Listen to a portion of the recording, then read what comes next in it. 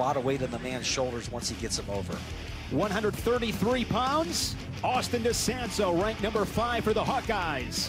And Alex Thomsen, sophomore for the Cornhuskers, ranked 20th in the country. Had a tough Right, loss Acknowledge without shaking hands, guys.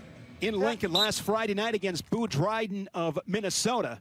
Of course, when it comes to Austin DeSanto, Jim, it is pace, That's a pace, and some more that. pace. Yeah, that's, he just likes to work off that t- the elbow tie right there, and you know he's got a left-hand lead on his shot. Uh, but we saw last year a lot of evidence he's moving off those and being ties, able to attack both that. sides of the body. When he came out of high school, that's really what he had was a kind of an ear arm Fingers, far leg. But you can see a pretty strong evolution in his style, and it takes a lot to slow him down. Senior out of Exeter, Pennsylvania. Exeter High School began his career at Drexel after being a three-time Pennsylvania State Place winner, won the state title as a senior. Giving up a little position right there, but nice job of popping back up and getting his hips, collecting his hips underneath him. That's well timed. DeSanto bonus points in 12 of 17 matches last season. He was fourth in the Big Tens, two-time All-American, was fifth two years Keep that ago.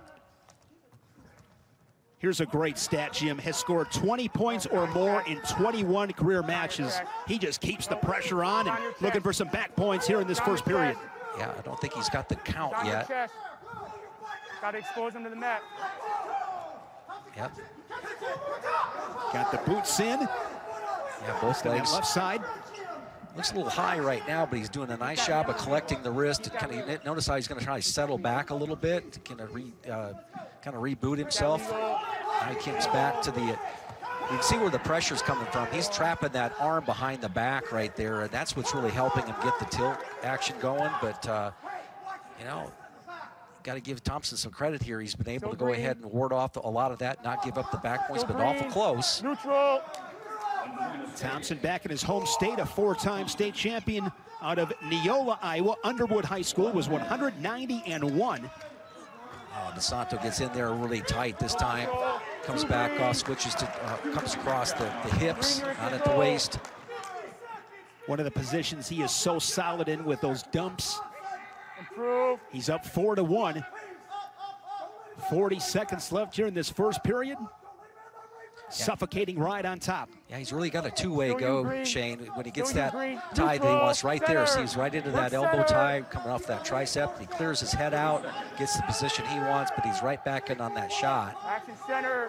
Thomsen doing a good job of of controlling his lead arm on his shot, which was left one, but he comes nice job of popping back up. If he doesn't get it, belt buckle to the mat right there. A Good finish, spreads the legs out wide there.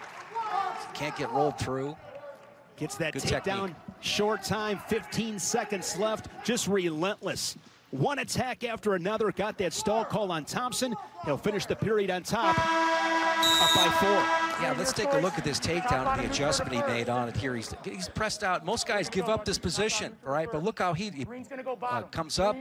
He bows his back, get a wrinkle in the back of his neck, bows his uh, back up into him, and then comes hard and switches off to a double. That's well done. A lot of guys will give up that position, and you know, one of the first things you try to be when you're a college wrestler is, is just a tough out, not not get scored off of a you know a subpar shot. But when you can go ahead and finish off of technique like that, you can always be offensive, and that's what uh, you know DeSanto is. Just Two green. he's learned how not to give up those cheap points. In 12 seconds, Jim, the quick escape took about two seconds. Right back in with a leg attack and a finish. And just like that, 9 to 3, riding time at 145. Santo looking to clear that left arm out. So he wants once his left arm's free, he's free to Still do about Green. anything. Green, you're in control. Good goal behind. Green, behind. you're in control. Neutral, we're neutral. He's free his left arm. See, I likes to keep that free in a position to be able to shoot. Action center. Front headlock position there the from center. DeSanto. Now green. a go behind, and Green, you're he's working control. with about a 60-gallon gas tank. Keep that legal. Keep that legal. Yes, he is. Oh, he's. But you can have a good gas tank, but if you're not willing to go full throttle, it doesn't make any difference. I mean, he's whatever they. Mile per gallon, I would Yeah. say, of about 65 miles a gallon. I mean, it's great value. Nah, he's more of a, of a, of a, of a street rod, four or five miles a gallon. But if you got a big tank, you can go the whole match. That's good stuff. He's not a Yugo. He is always entertaining. Yeah. Always. You know what you're going to get with Austin DeSanto. High octane. 17 4. Wrestling there at the edge. Half a minute remaining here in the second period. No change. He reminds me, Jim, you hear about it a lot, especially with those great teams that Tom and Terry Brands were a part of, that quote Good unquote call. Same good start. Iowa Here we go. style. Austin DeSanto is Iowa style. Okay. Bottom man set. Well, I think, you know, you the optional Tom and Terry- Leg cover proper. You know, watching them uh, compete, Neutral. You We're neutral. they they had really good technique. Now this is, you know, he, he nice, beautiful high crotch Still right there. Green. We saw he's, Still you you, know, Green. he's doing what a Still lot of the great Green. wrestlers do. They attacks both sides of the body. But what he does it with a lot of a lot of repetitions, and you don't do that unless you're working awful hard in practice. There again, once again, right there, gets caught underneath. Almost looks like Thomsen had the corner cut on him here, and he's able to pop out from underneath. Gets the back points along with it. Gets the tech fall. Yeah, that's it. 21-6. He had six tech falls a year ago that was second to Spencer Lee. And he begins this, his senior campaign, with a tech fall over Alex Thomsen. A three-time All-American for Missouri, now in the Hawkeye black singlet.